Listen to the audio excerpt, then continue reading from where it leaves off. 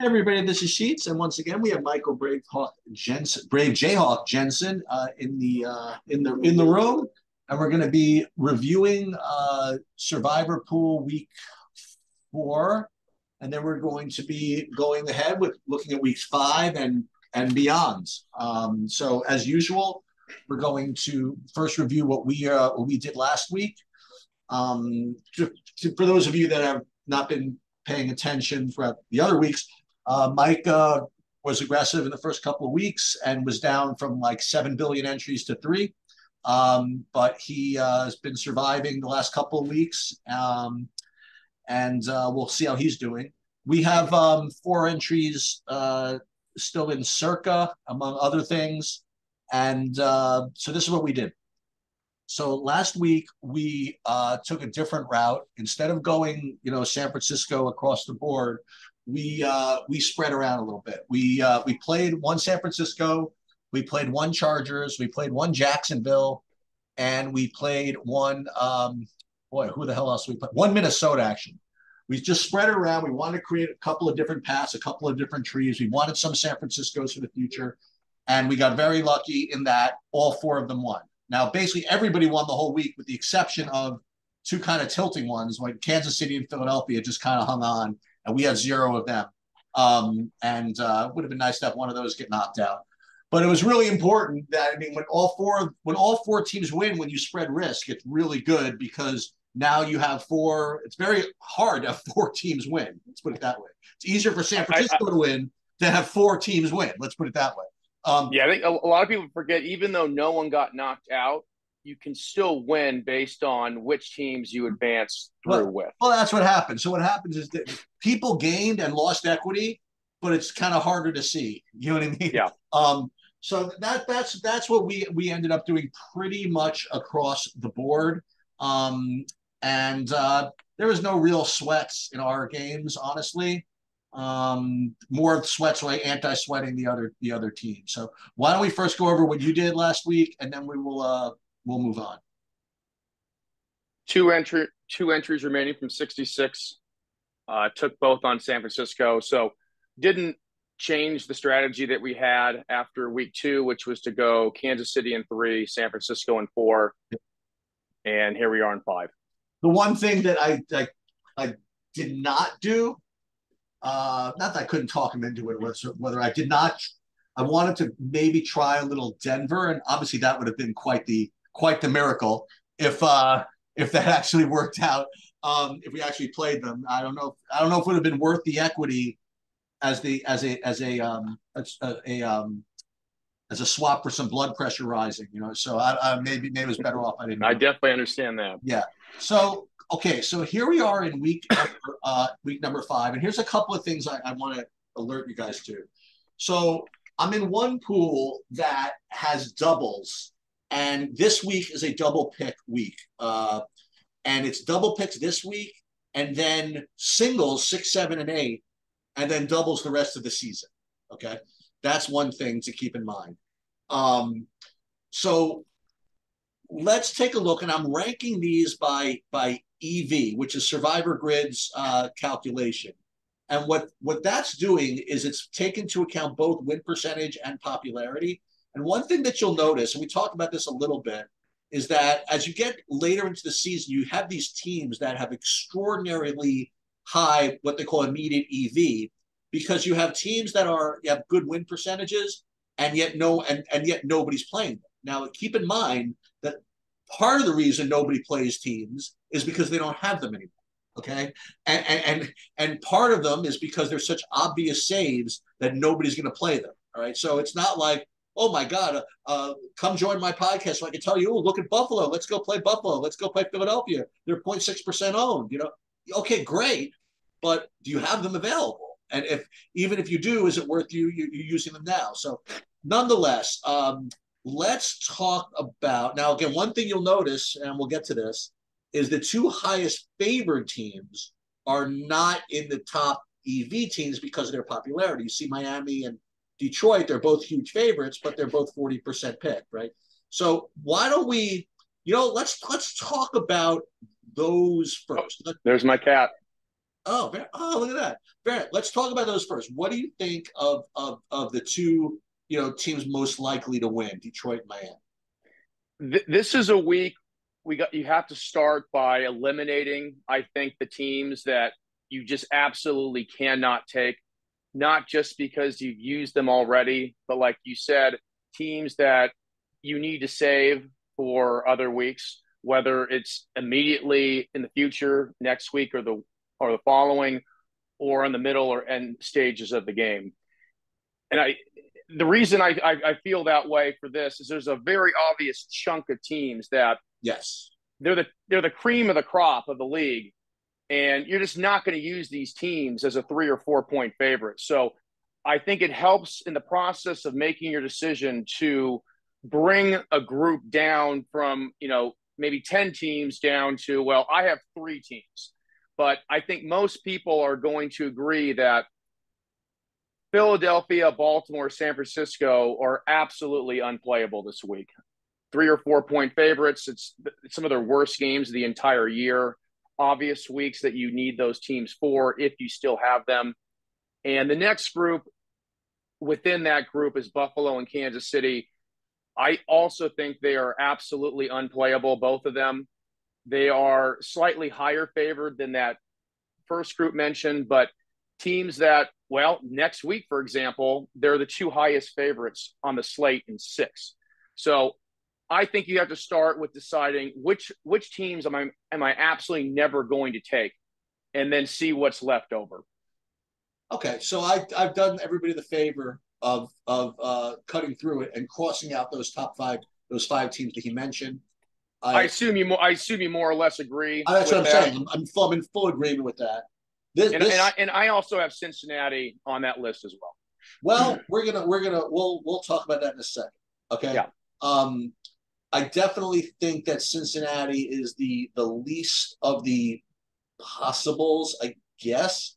Um, let's well, you know let's eliminate, eliminate Cincinnati first by doing this. Let, let me just put it another way. So Cincinnati, on its face, is a team that you don't want to play now because you see that there are places you can play them, like in week 10, in week 12, in week, uh, among, among other places, like in week 14. Um, the only thing I look at is if they're, since no one has played them, and I presume no one's playing this week, like how popular they're going to be in week 10. Um, so that's the only thing I think about is whether if I'm going to really save them, is whether I'm really going to play them in 10. Like I'll probably end up fading them in 10. So, and in 12, yeah, you know what? I guess between 10, 12, and 14, I'll probably have a I'll have a better reason to play them then, let's put it this way, than now. Okay, so it's yeah. week week twelve is the week because there's a there's a group of three teams that everybody's going to have. Minnesota, Tennessee, and Cincinnati are teams that everyone's going to have in twelve, and it's their best game for all three of them for the entire season as of this point. So that will help really bring their ownership down, and that doesn't even that's not even considering that Dallas and Kansas City are the highest or the are the largest favorites in 12. And there's other teams too, like Detroit and Miami. Okay, so it looks as though, I mean, what this is coming down to is there are two teams that are very, very likely to win um, that you could play, maybe Miami or Detroit, and you could play them in the future as well. Then there's, uh, and we'll talk about Washington in a second, which uh, again, it's really funny because when we were, everybody was jamming Washington in week four, in week one, Right? We talked about this last week, right? Oh yeah. That, that oh, this is like a lock play because you're never going to use them in the future, right? And next thing you know, here we are. like... yeah, this, this this is pretty this is pretty remarkable. Last yeah. week I said I didn't mind taking a chalky team like Washington week one because it's a team that you're not very likely to need. And then one week later, Washington's the clear best pick yep. on the slate. I, I, and I, I, could, I couldn't even see that last, you know, just just last week. So yeah. it, it does change very quickly. So okay, so what do you think of Miami Detroit? The first thing I, I want everyone to visualize my uh, Detroit and Miami's outlook the rest of the way. If you can uh, refresh the page and sort by largest favorite, and that'll put Miami and Detroit on the top two uh, uh, rows. Excuse me. Their schedule is fascinating. It's basically identical. They are unplayable in seven, nine, and ten. Those are the only weeks they're unplayable. They have they they're marginally playable in 12 and 13. 14 it gets better. 15 it's better. Their best weeks are 11 and 5. They have identical they may as well be the same team in terms of uh, win percentage for the rest of their season at this point right now. So they're very interchangeable. You don't need to have one over the other when it comes to saving them for a different slot because they're just as good as, as the other is for each week. Or one, the only difference I would say is next week. Yeah, is next week. Is and that's the that is the that is the only difference. But if you have Buffalo or Kansas City, there's three clear teams. Not to mention the, the Rams will be pretty popular next week too. Yeah. So it's tough. If you took Washington in week one, I'm not going to say anything wrong. I said that if they were 10 and a half, 11 point favorites, I would have smashed them in week one myself. I, I do remember saying that. I got lucky with with my Atlanta week one picks that I'm in a great spot. I'm clearly taking Washington for my last two entries. There's no reason to get to this point and not say both of my Miami and Detroit. But most people just aren't in that that situation. Yeah, I agree, t- I, I agree with that. You know, like um, if you took Washington already, then it's actually a, a if you didn't take Washington, I really don't think it's much of a decision. You know what I mean? Like I think you just take them, like you were saying. Yes, um, I, I, and I don't think the pick percent. I don't think the pick availability matters at all, especially for a regular pool. Now in Circa, Washington is going to be the highest percentage probably of a team so far this year, and the highest percentage so far is at least forty-one percent. So, well, if it's even possible, I, I I might take Washington and Circa even if I knew every single person was taking them. Like it, it's to that extreme because saving Miami and Detroit is so important. And the the next option, at least for me, would be Denver. So I'd be dropping down to a team that's more or less 50 50 and, and getting off a team that's 70%. I, I, would rather just eat the chalk and take the 70% team. I would have to say, now, I have to say, I have to say, by the way, before we move forward, we'll talk about the percentages stuff. I, I you know, those you've been following, not only did I did we advance in Survivor, but but I I, I want to I want a side bet against. Oh, my, that was even that was even close. I want a side bet against my partner where uh, where I I where I, I thought that uh, I took San Francisco's ownership and I gave 20 percentage points to uh, to the Chargers, and uh, and then he started to whine when when Minnesota started to get some steam. You know they're going to take from the Chargers, and I'm like, I'll tell you, I, I was almost going to offer him Minnesota and San Diego combined. I yeah. mean, Chargers combined, but I didn't do that because why bother? I had I had I had it blocked. And uh, they really, and even though like San Francisco is playable and like you know, in, in, in, in, scarce weeks like Christmas and Thanksgiving, they jammed them, man. They they yeah. jammed them right, and and you know what? I not that it just cro- it crossed that th- it just crossed that threshold. You're yeah. that big of a favorite. It, yeah. I mean, if, if I if I fall into that, you want to call it trap, a lot of people are because I play well, that, well, very, that, well, very aggressive. Well, that was my logic. You know, I was talking it through with him, and I said, "Listen, I'm looking at this board, and I'm like, I don't really need to play San Francisco in the future, and they're a hundred point favorite. I want to jam them, and believe me, if I want to jam them, then other people are going to want to jam them, yeah. and that's the way it is. I I sort of disagree with you with respect to the Washington ownership this week on Circa. I think they're going to be popular, but I don't. I I think that because Miami and Detroit are pretty interchangeable, um, I think they're going to get more ownership than you might think. I, I think that I think that you could play Miami and still, you know what I mean, and then have many other options in in the Miami weeks. You could that, play Detroit that, and, and many other options in the Detroit weeks. I'm that's true, but being that they're so interchangeable, it makes I think that it makes it more important to really find the right spot for each team because once you use one of them, you lose a pick on every single week that Oh, yeah. that, team, that other So- team could be used. so this is the way I Now- look at it. I, I, I looked at San. Washington is right now 60% available in Circa. Okay. Um, okay. Um, 60%. So I just figured that 50% would, of those people would use them. You know, I, I, I so I put them at 30%. That that's my estimate. Now again, I don't really care either. You know what I mean? Like if they're 30 or 40 or 50, you know what I mean? Like the way that the mapping works. And I I I want Detroit Miami for the future. I, I want it. And Yeah. and, and I guess now that you're now that you're now that I'm talking through it, if I really want it, then other people really want it. And and uh and uh but but then again you think about this, like if you're the type of player that wouldn't play Washington in week one, are you the type of player that would play Washington now? I mean, it seems like the same type of play now as it was in week one. No, it's different because at least for me in week one, I assume anything can happen. Okay, okay. The the Rams won the Super Bowl in 1999. They were 400, 500, 601 odds. Kurt Right. Warner came out of nowhere, one, ended up being one of the best teams ever. I assume that anything like that is possible. okay. But once you get to week five, you know who sucks. You know, Chicago's not going to win out. But at the beginning of the season, they could go. Even in my mind, they have a non-zero out of a million chance of of, of going undefeated. Now Right. it's very clear that they're that, that they're atrocious, Yeah. and you, you know exactly what. There's no mystery. You know what you're getting.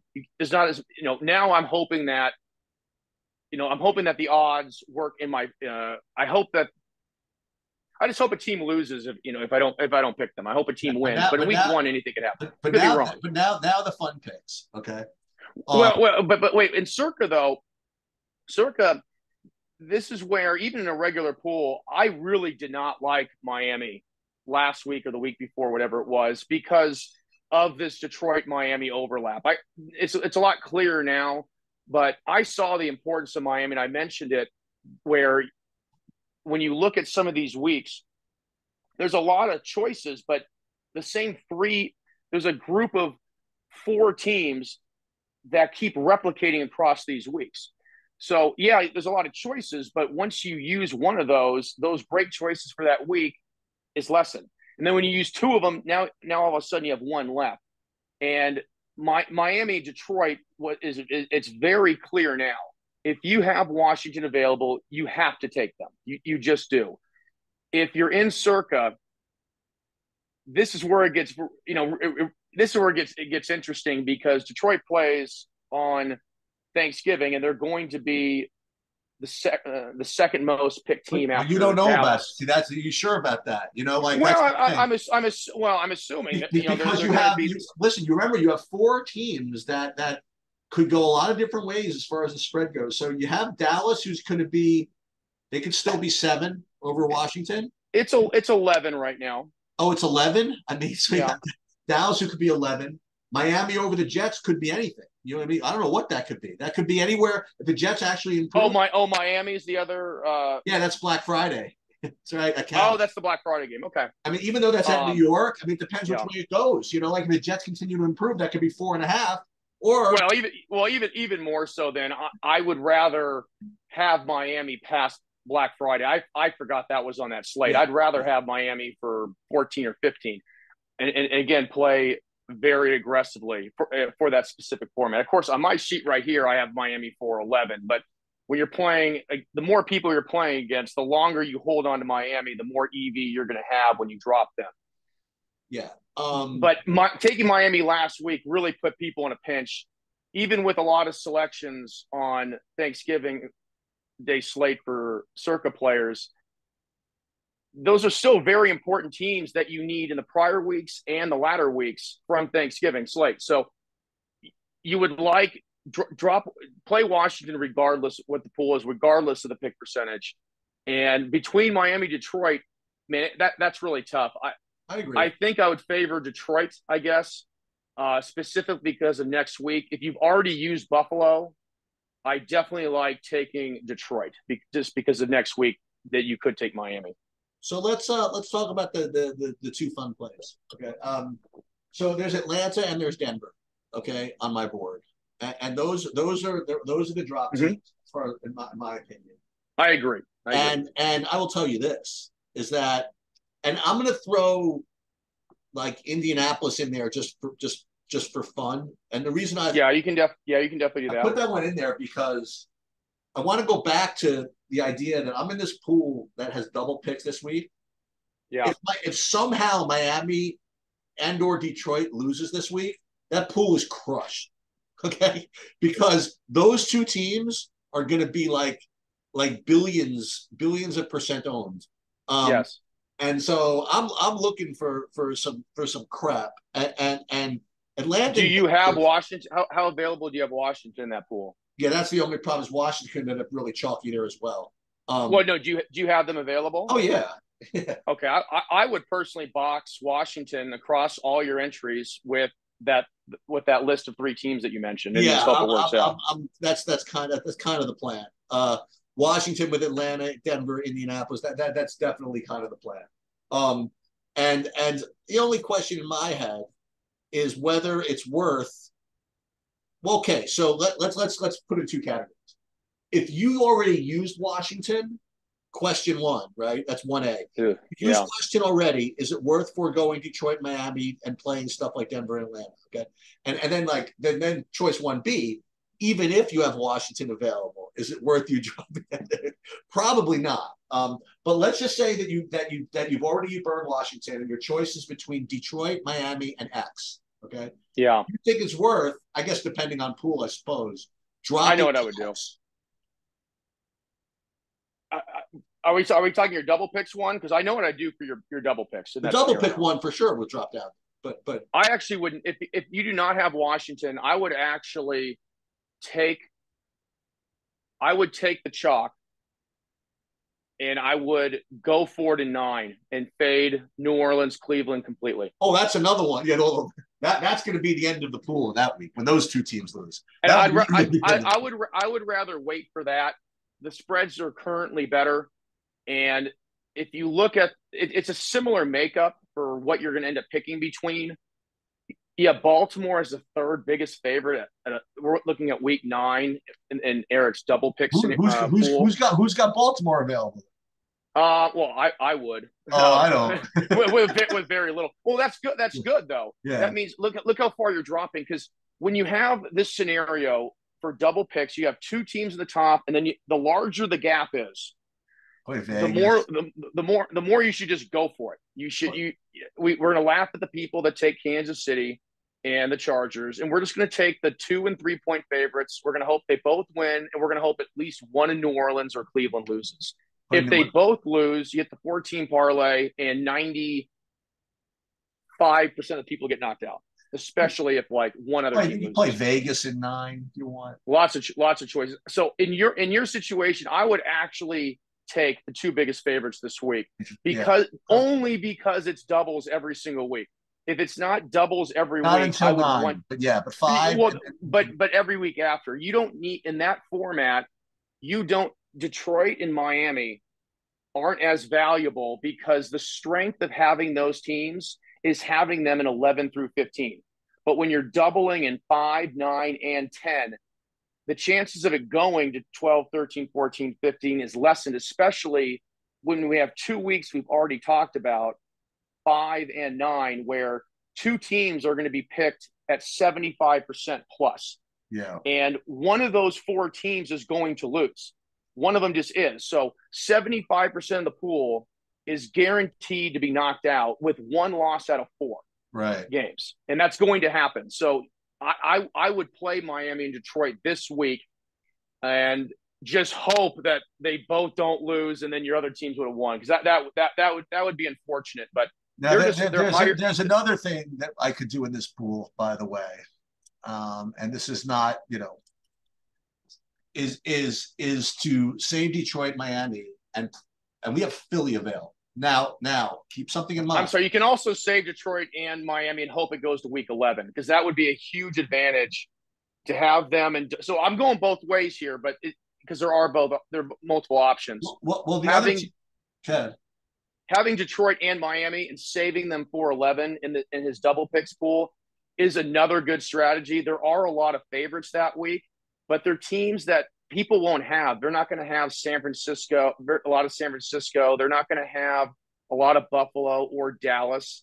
So the next tier after that is Cleveland at a six point favorite and down. So you have three. I think you have three choice. You have three choices. You can you make your move in five, nine, or eleven, and you really. I don't think. I don't think either of the ways is wrong. It's it's just whether or not you want to get it over with. But the least likely scenario is Detroit and Miami losing.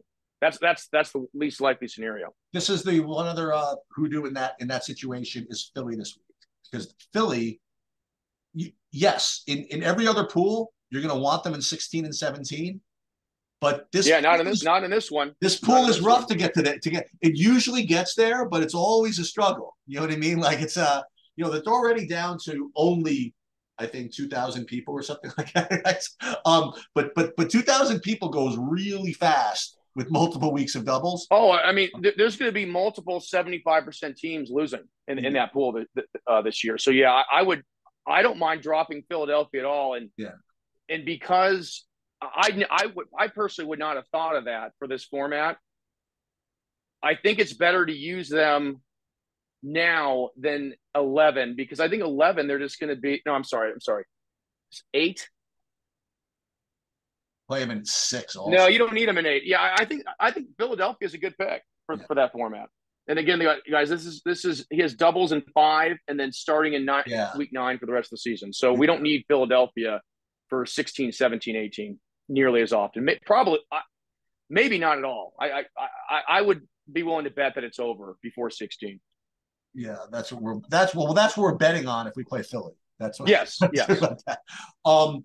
Okay. So um. Uh. That's pretty much all all I have. Um. And uh. I guess that's pretty much it. We can. I'm not dropping anything further. There's no reason to force stuff that doesn't exist.